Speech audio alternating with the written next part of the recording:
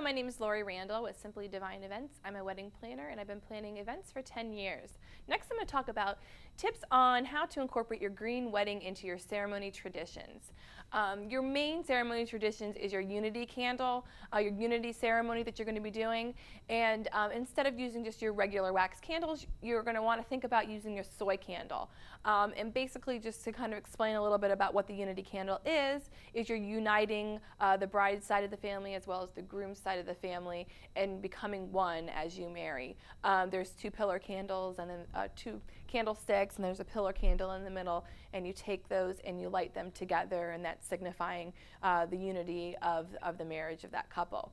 Um, so think along the lines of soy candles for that.